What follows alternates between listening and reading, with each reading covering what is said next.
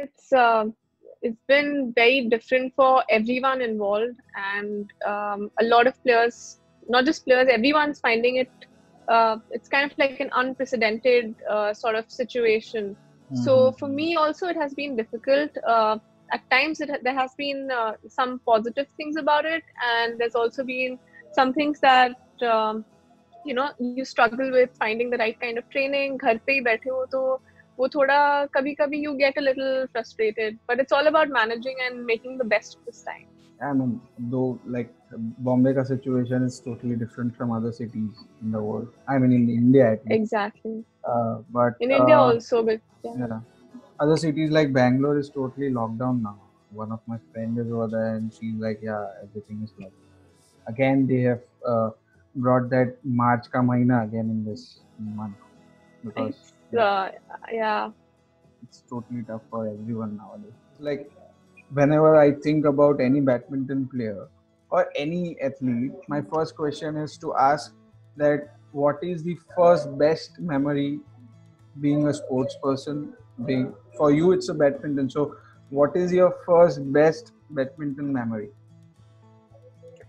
uh, so for me, my first best memory came very early on in my career. I think I was around nine years old, and that's when I won my first under 10 state championship. Okay. And I played my first national final, which was all in under 10. So at nine years old, I had that feeling, okay, I'm a state champion. Like imagine a nine year old thinking that they're a state champion, and that actually kind of happened. So that would be my best memory starting on that kind right. of gave me the confidence to you know really pursue it further right right uh, so so uh, so the spark came like the spark for badminton came at what age what was your age when you started playing badminton? Uh, I think around seven or eight is when I started playing, and I just saw my dad play, and I wanted to learn the sport, and mm. so he hmm. decided it would be best to kind of enroll me into an academy and uh, immediately i i think i just took to it. I would just sit and watch you know better players playing for hours. I would just be like man i wish i could do that. That looks so cool you know uh, moving around the court. Mm. and uh, i was very fascinated by the game. And then finally one day like i started working on uh, getting those skills. Right right. Uh eight years. I mean very young. That age I mean, starting yeah starting. So so Seven, the years, yeah. so the uh, kida of badminton came in blood on you. Yeah, like my my whole life has been badminton. I think so. I that's all I know. Right. Okay. Uh, so you were just set, at the age of 17 years. You won your first national badminton championship. I guess it it was in 2015. Uh, Yes, so uh, that was the team event that I won with Air India. I was playing. I was playing for Air India at the time, and they have a junior team as well. And we won the. I think it was in Jaipur that we won. Mm-hmm. Um, so that has been interesting. But I actually won my first real national title in the sub junior category, which was back in 2011. Okay. So that was my the first sub junior nationals that I won, and I was 14 at the time. Mm-hmm. So how is the feeling standing on that podium, getting that medal and all? It was just phenomenal. I think being called a national champion or you know be it in any uh, any age group or anything it's, it's a very special feeling because it kind of um, makes all the hard work worth it because you feel like okay i worked hard and i kind of got a very good result. And right now you know one year you will be the reigning national champion and then uh, you have to play again. So it's, it's a very special thing for sure. Mm-hmm. right. So badminton your first memory i have taken. Now let me just start with your childhood. Like were you like a curious kind of girl or you were like okay chalta hai kind of thing or you were a silent creature or mischievous? How was your childhood? Um, I think I was I was a very enterprising kid. I was always taking up new projects, and whether it was dance or reading or painting, and from a very early age, I took part in literally everything from uh, all school activities my name would literally be there on top like okay it's not they wouldn't even ask me if you want to take part. They just be like okay it's the annual play sanjana's going to be there. It's the it's a student council election sanjana's going to be there. So i literally took part in everything. Right. And um, so i was i was very very enterprising. I was always looking to learn and i had that very curious kind of nature.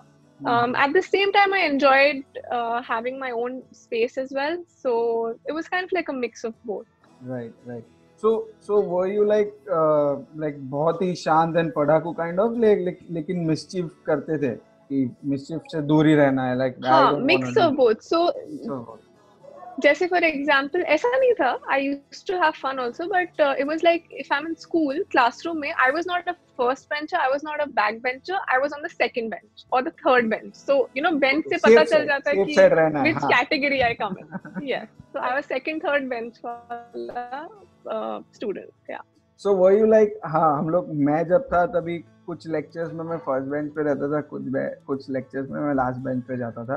And my favourite thing was to open my tiffin before recess like that was my mistake during that time okay that time like we are like doing all this things rubber फेंकना and all those things we do या eating in class was like the coolest thing ever for sure और वो अगर कोई किया ना तो मतलब everyone is like oh that person is eating like the exceptional yeah. doing. it. Okay nowadays nowadays we have heard लोग school भी बंद करके जाते हैं। That time I we were not doing that for obvious मतलब there was no chance या yes चीज़ें थी। बट हाँ हमारे लिए वो एक फन पार्ट था कि हम लोग चालू लेक्चर में डब्बा खा खोल के खाना है। और डब्बा भी अंदर डेस्क में रख के धीरे धीरे धीरे करके खाना है।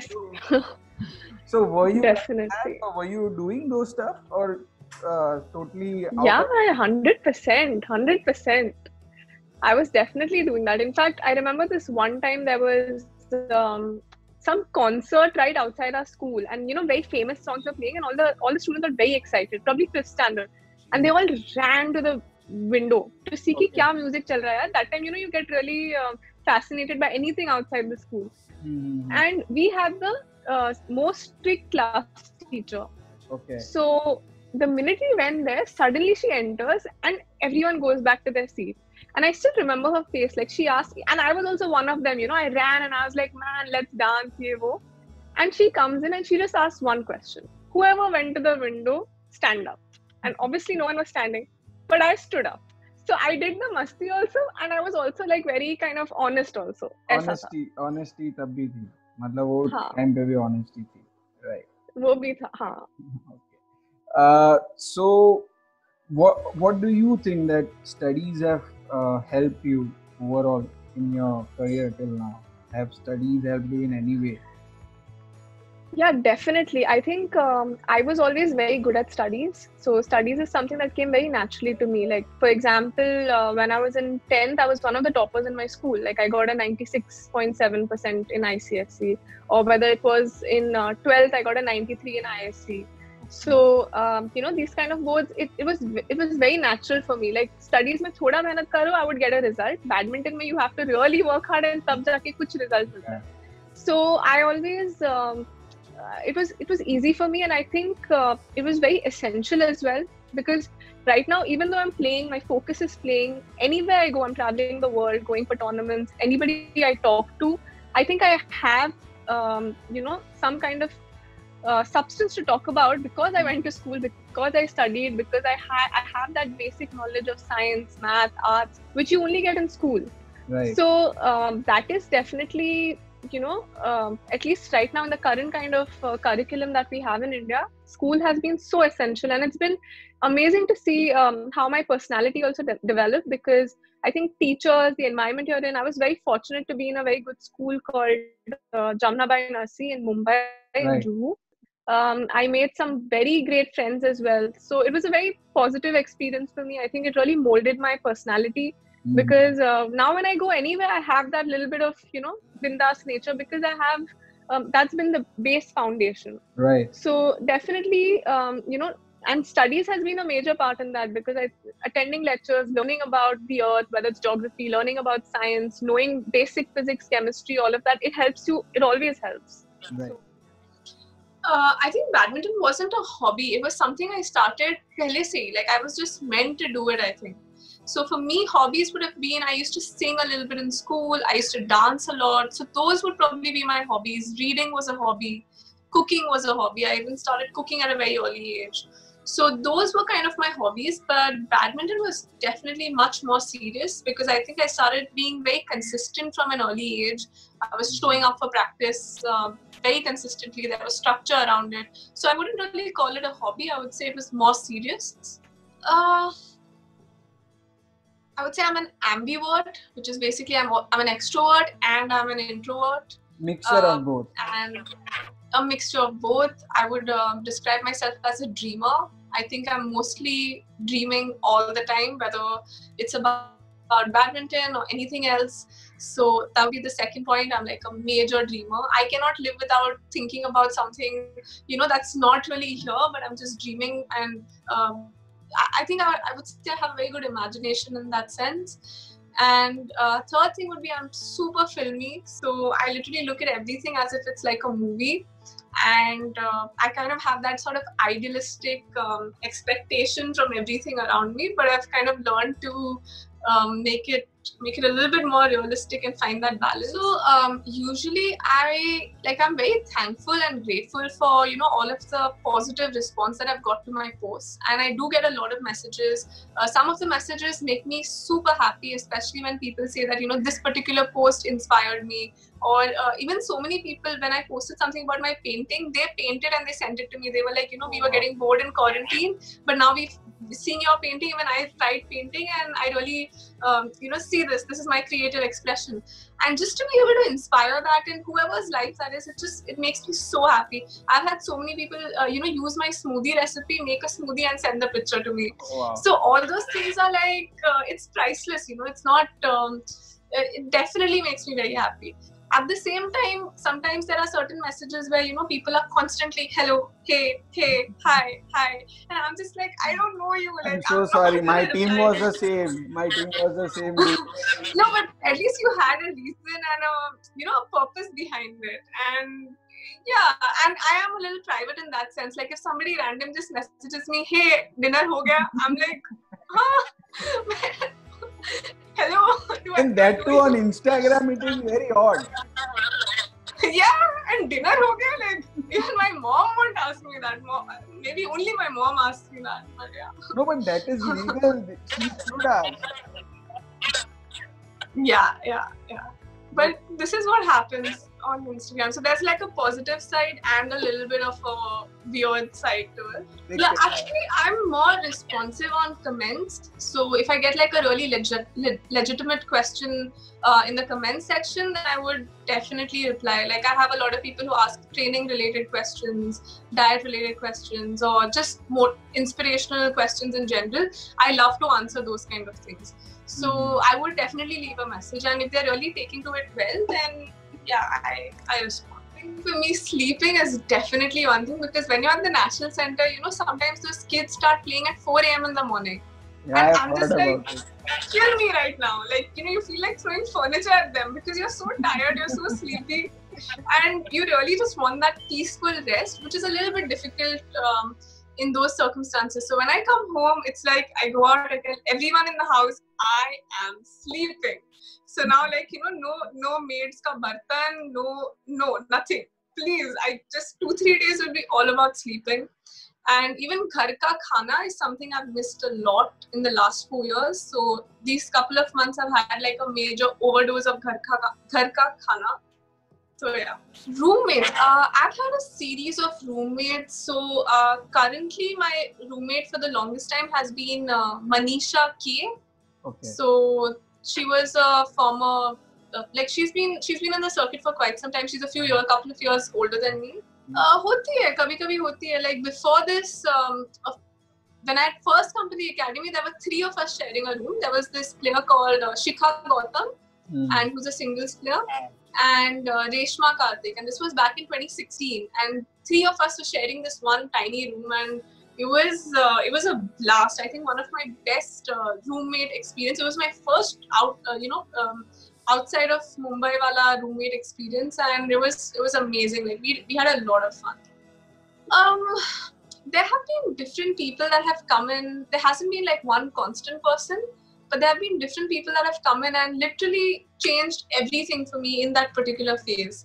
And uh, I feel like sometimes it has something to do with destiny because right at the time where you know you feel like there's no way this is getting better. Like I'm just stuck in this dark uh, space. Somebody will come and usually it's a person. Like you know, sometimes it could be um, other things, but for me, it's always been some person who came in at the right time and just made everything a little bit more better. And then I got out of that space. So I've had I've had a lot of people come in. Like you know, sometimes it's been a particular coach or a physio or sometimes my school friend or there were there's a lot of people that have come in and made that difference. So i would say i have a uh, my best friend is somebody that i sat with in class back in sixth standard. And i've known her from fourth standard but we became best friends in sixth when we sat together in class. And i think the thing that really connected us was the fact that we could laugh a lot together.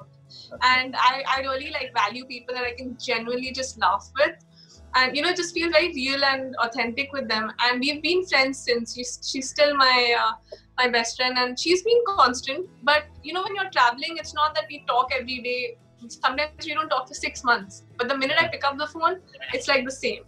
Right. so there have been people who are constant but you know coming out of the dark phase i would say there's been different people at different times. Right. So uh, for me right now it is I'm focusing on myself in terms of how I'm playing and how fit I am. And um, I want to be able to play at the Super Series level. Like, that's my goal, that's my dream at a very consistent level. So, everything that I do in training, everything that I'm doing is to, you know, start playing at that level, start um, performing decently and becoming a regular at that particular level. And then, you know, the results that are meant to come, whether it's like the big events like everyone dreams of an olympics or, or a world championship. Those things just happen when they're meant to happen and if you've done enough work then you know they, they happen. But um, that that's literally sometimes i feel it's it's a lot to do with destiny also. Like you can just do your part. Of course if you don't do your part it's, it's nothing's going to happen. But once you've done your part it all depends on uh, on destiny. Right so it was definitely lockdown. I think uh, in my usual schedule, there's no way I have time to do anything else because that's how exhausted we are from training, traveling, and there's just so much to do. It's very difficult to actually build up your social media. So I was very, very inactive on social media before lockdown. I know players who are, you know, my seniors, juniors, they're all super active on Insta with a lot of followers, and I was nowhere on the scene at all because I was, I was just exhausted most of the time from training. I didn't have that inclination. But then um, during lockdown, suddenly I realized there's actually nothing to do, and everybody's on social media.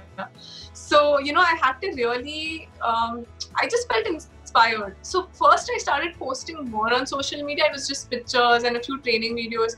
And the minute I started getting a good response, I, my creative mind just kicked into, you know, like um, the next gear because uh, I remember I, I feel like I was doing a lot of creative work during the lockdown period, whether it was artwork, whether it was cooking, whether so initially once you know our training load, our traveling went down, I had all of this creative energy that I didn't know what to do with. Mm-hmm.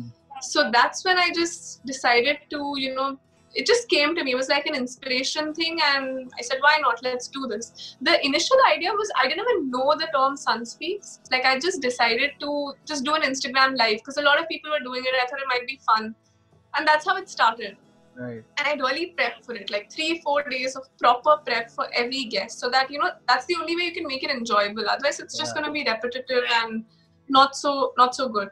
So that's what i started doing. And then while i was posting the first live i just thought you know why not just give it some name like okay SanjSpeaks and i just put like hashtag SanjSpeaks and that's how it began. And now everyone looks at me and they're like, hey, SanjSpeaks, hi. And I'll be like, what is happening? Like, I have no idea how this happened. But a lot of people I feel were very, very demotivated, distracted, and just lost during the lockdown. I was also, uh, I also felt that way for a few days in between and that's when you know you watch one thing on social media that just inspires you a little bit or something funny and it can literally lift you up like you know that could be the turning point that saves you from not going into that sort of uh, sad kind of mood. So that was another intention behind what i was doing because it wasn't just about you know getting more viewers but it was also that okay this might really help someone. Yeah, so yeah the i think the craziest one i've heard is will you marry me? Oh. directly. No hi no hello just will you no, marry directly directly. Yeah. was it in comments or was it in messages everywhere. The same person, I think, comments also, messages also, and I'm just like, what response do you expect? What am I supposed to say to that? Give it in a creative way. Yeah, I could have thought of something like that, but then I was just like, whatever. Okay. Mm, there's many that I would want to. Okay, tell me. Uh, I would say- three. yeah any any injury that i might have had i would want to just delete that injury period but in retrospect i feel that kind of period those tough times made me who i am today so in that sense mm, okay but maybe it could have been a little nicer like not so heartbreaking um, i would say badminton wise uh, it would probably be um, the first title that i won in poland uh, because I feel that tournament just made me believe a lot more in myself. Before that, I'd only played like national tournaments. I never played abroad. It was my first tour, and winning that first title really made me believe in myself as a player. And I feel that was a very uh, turning point. Um, turning th- that was a turning point, and so I would want to keep that always. I don't know, but I'm not so sure about that. Like I wanted to be a chef, so um, that was something I was looking at, or else it would have definitely been something in studies first because I was good at that as well. I like to do it also. So I don't think act- acting would have been like my second or third option. It would have probably, but it was there in the back of my mind, like a hobby kind of thing. Okay. Badminton fraternity. Uh, to be very honest, I don't have many close friends from badminton. Most of my close friends are outside badminton because I like being very professional when I'm uh, when I'm playing. And yeah, we do develop friendships, but at the end of the day, when I'm on court, when I'm in that environment, it's just like a switch is on where I where I'm trying to be as professional as I can be. So I wouldn't say there's some one person that's very close, but there's there's a lot of them that I'm good friends with. Mm, uh, I don't think I don't know. I, I honestly don't know. It is just it's just human nature. Like I'm like any other human. So just yeah, I I, I don't know. Just, I honestly don't. Just pops out or it's like tank that. It depends. Like I uh, I'm usually very I'm a very like I said I'm a very private person and most of these things are only I only discuss with like uh, people that are very close to me for sure. Okay. um, PBL has been such a blessing, especially for you know players like me that have really taken part. And I've been there, for, I think three or four PBLs now, and every time there was so much to learn from all of the uh, foreign players that came in, and even some of the Indian seniors. We usually don't get to interact with them as much because um, like staying together as a team, traveling together, practicing together is something that just never happens on even if you're playing international tournaments. Mhm. So for me, key players like whether it's Lee Yong Dae, Hendra Setiawan, and all of these players, I was in the same team as them. There was so much to learn from them. Mathias Boe. So um, it's been a phenomenal thing, especially for kind of developing the sport in India, uh, for creating more awareness about badminton, which really helps bring up the sport as well. And also for junior players like us, like I was a, I think I just come out of the junior category when I played my first PBL and it was such an inspiring experience. So it's definitely a win-win situation. I just wish it was kind of uh, you know uh, marketed a bit more so even more people can watch it like how the kabaddi league has just taken off and those kind of things i think badminton is also very marketable and if um, you know it can be advertised even more it would uh, it, it would be a bigger hit best PBL memories. I think it would probably be when we won. So I was uh, playing for Bangalore that year and the Bengaluru Blasters. And I remember when the team won and everyone just ran to the court and, you know, uh, we took the trophy. It was quite a nice experience. And I would also uh, say last year when I played for Chennai, Chennai. uh, I got a chance to play and I played against uh, Lee Yong Dae and Kim Hana. And that would definitely be like a oh my god experience because uh, Lee Yong Dae has kind of been like one of my idols and um, it was phenomenal like serving to him and he's smashing i'm defending and while i'm playing i have to like just remind myself that sanjana just an opponent. Be calm and just do your thing. So uh, that was an experience i'll never forget. Right. i think uh, firstly if players are giving sports the first preference that is something that i have done all my life and i created something where I could balance it out in such a way that I was studying as well. So having that balance is super important. um, I think that um, a lot of players, if they're playing, they completely neglect their studies, and that is something I wouldn't recommend at all because I feel studies helps you to open your mind. It helps you. It, it will help you in your game as well to understand strategy. I feel later on, a lot of children who didn't go to school didn't study really well. Mentally, it um, it kind of hinders you a little bit. So it's very important to keep gaining knowledge and uh, you know learning that kind of thing. So i would say studies is definitely important but um, learn to balance it. And if you're giving sports the first priority that's also okay as long as you are giving enough time to studies as well. And um, another thing that i would want to say is that if you are doing this and taking this chance of you know putting studies a little bit on the um, like the second priority then it's really important that you are giving 100% effort to your sport. Mm-hmm. so if you're not going to be very sincere in your badminton practice and because of that you're like not really studying well as much uh, not even studying as much then that would kind of it doesn't make sense. So unless and until you're really 100% you, people can see that dedication that you're putting into your sport then okay it, it's fine to kind of keep studies a little bit um, you know uh, on the second uh, position. But for sure it's important. It's important for your brain to develop. It's important so you can um, you know it, will just make your life much richer because mm. that's how much your understanding has deepened. Yeah firstly i just want to thank you guys for having me on the show and for spreading such awareness about uh, sport badminton and uh, it's it's wonderful because I think sports has enriched my life so much. And if I'm able to give back to it, and if I'm able to kind of spread a little message so that more people are aware about it, um, it's it's a wonderful thing. It's a wonderful feeling because something that has given me so much, I'm able to give back in in whatever little way. So my message would definitely be, uh, you know, to everyone watching that. Um, work hard, work smart, go after your dreams, and just be fearless.